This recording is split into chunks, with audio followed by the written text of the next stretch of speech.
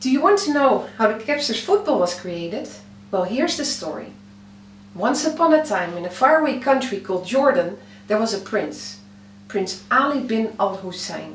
And he was a huge fan of football and wanted to promote the game of football for women worldwide. The national women's team of Jordan had to compete against the women's team of Iran. It was a qualification game for the Olympics in 2012. Even before the game started, both teams were disqualified. The referee found their hijab unsafe. Now the Prince of Jordan is the vice president of FIFA and he wanted to lift the hijab ban on the football field. So he asked Capsters for help.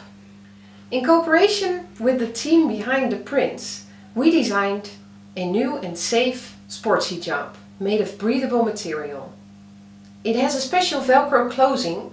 When pulled from behind, it will come loose and this closing has been tested and approved on safety by the Technological Institute of TÜV in Germany. With this safe hijab, we convinced the medical committee of FIFA to drop the hijab ban. And the football loving girls worldwide lived happily ever after.